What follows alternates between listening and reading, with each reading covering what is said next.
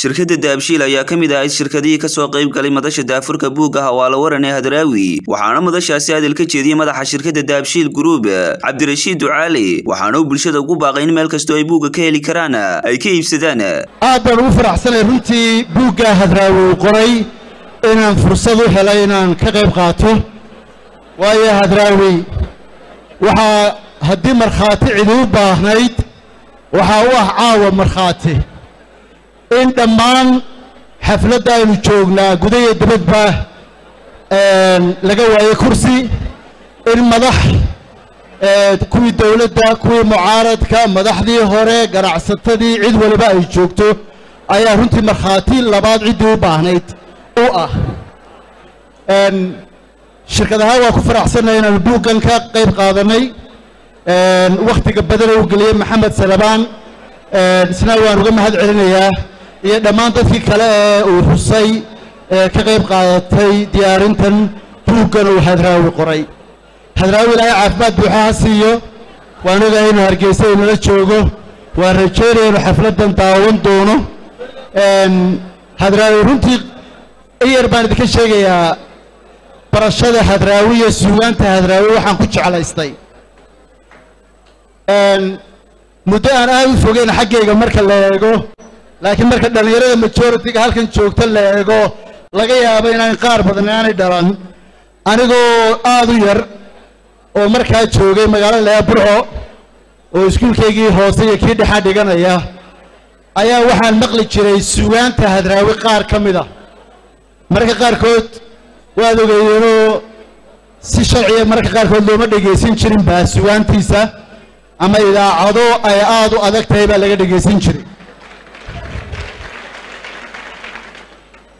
marka waxaan xusuustaa sugaantiisa mid ka midoo wakhtiga ay soo jiidatay aan aad u yaraa.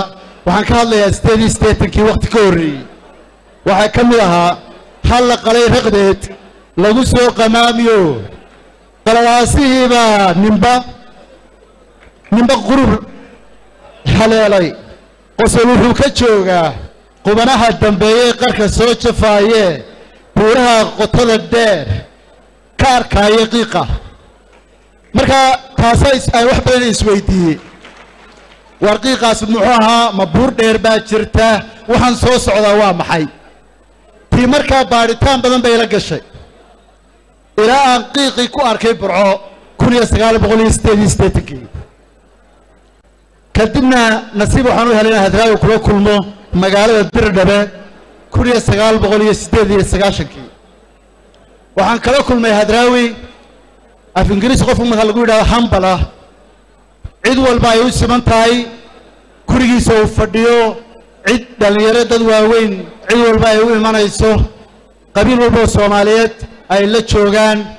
Yar iyo weyn mid aan lacag haysan iyo mid waliba uu ka fogayn deeqsinima ku jirto. Wanaag badan baan kala kulmay. Tii markaa waxay keentay inaan sugaantii hadraawi aanan ilaawin oo aan sii qaato buwaagtiisa qaar ka mida iyadoo markaa tape reter lagu qoray inaan ingiriiska la tago kun iyo sagaal boqol iyo koob iyo sagaashankii waxaasoo dhan waxaan dardaan u odhanayaa dhallinyarada isuma arka malaya inaan dhallinyaro ba ahay iminka eh? Inkastoo bidaarta sii dheeraanayso dhallinyarada majoritiga halkaa maanta joogtaa in buuggan uu maanta hadraawi qoray iyo kuwii ka horreeyeyba waxaan idinka codsanayaa inaad wakhti gelisaan macnaheeda fahamtaan ku dabaqdaan ama isku ku dabaqdaan noloshiinna qayb ka mida waddamada yurub buwaag badan baa dadku jaanis u yeeshaan inay iibsadaan. Laakiin haddaad iminka fahamtid sirta nolosha waxay tahay mana doonayo inaan halka ku dheeraado? Waan ogahay odayaal badan oo ama dhallinyaro badan ba inay iga dambeeyaan sirta noloshu dhiirigelin badan bay ku siinaysaa aad noloshaada ku maamushid ama maansada hooyadoo kale oo aad ogaatid muhiimadda ay hooyadu leedahay. Ama tu tuka baalcad oo macnayaal badan ba ku tusaysa waxaasoo dhan ma doonaya inaan wakhti badan idinka hallaabiyo.